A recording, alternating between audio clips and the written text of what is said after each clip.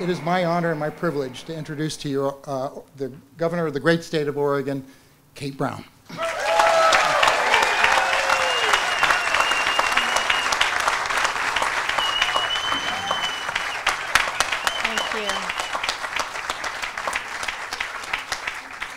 Thank you, everyone. Um, I am so excited. I feel like I'm just jumping up and down. Um, it was an incredible honor to ride uh, that first uh, train coming over the, the water.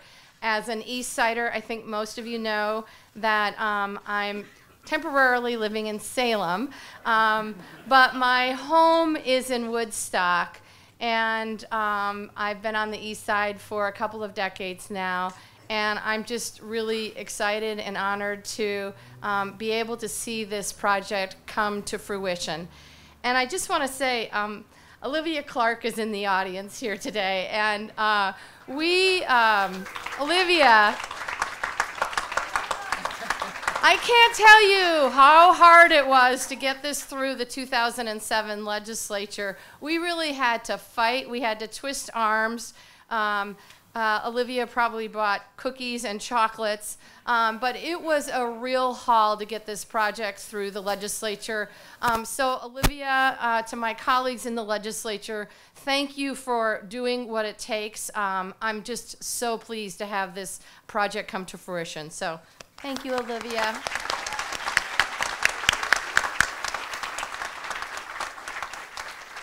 So as I look at the orange line today, and uh, I'm not taking a position on ducks versus beavers, um, and the entire TriMet system, it's just so exciting to see the transportation project started so many years ago take shape.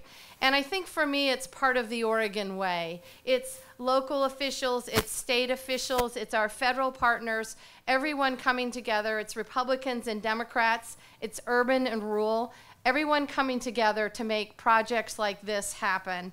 And these investments in transit are absolutely essential if we're going to preserve mobility of goods and enable people to move around the state of Oregon.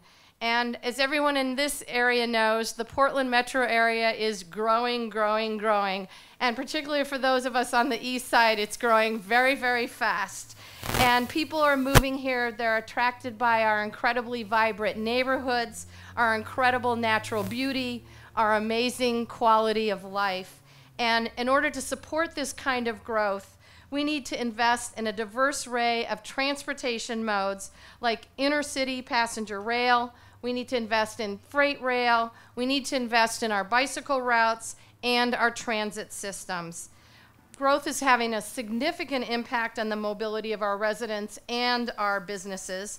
Uh, I think I mentioned earlier uh, this year in my State of the State address that if you tried to drive between Beaverton and Portland at I said 3 a.m. at my State of the State address, but I meant 3 p.m. on a weekday. Um, you are well aware that, that congestion is a very huge problem. So it is absolutely imperative. Our improvements cannot wait and are essential to protecting what we love about Oregon. And our children and our grandchildren deserve continu continued foresight and investment from our generation. Mayor Doyle, that means you and me, right? right. Okay. Especially on, Especially on the Sunset Corridor. See these West Siders, they always want to get a word in. I know, there's a lot of you here. I think it's great. But it's good for the East Side to have its little turn right now. So, the construction of the Orange Line created 14,000 family wage jobs during the depths of the recent recession, and more than 430 Oregon companies worked on the project, including 131 small and disadvantaged businesses I think that's great Oregon success.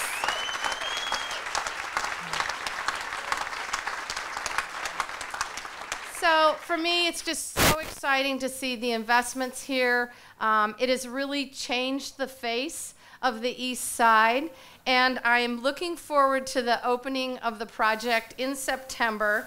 I'm hoping I can be around for that ride as well.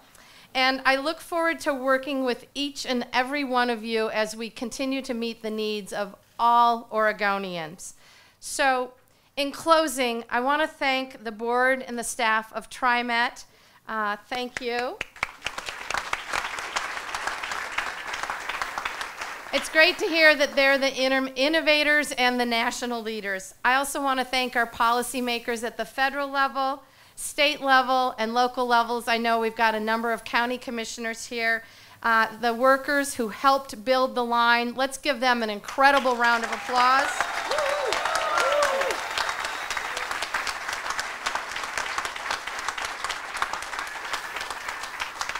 And lastly, I want to thank the citizens of the great state of Oregon for helping make this project happen. You guys rock.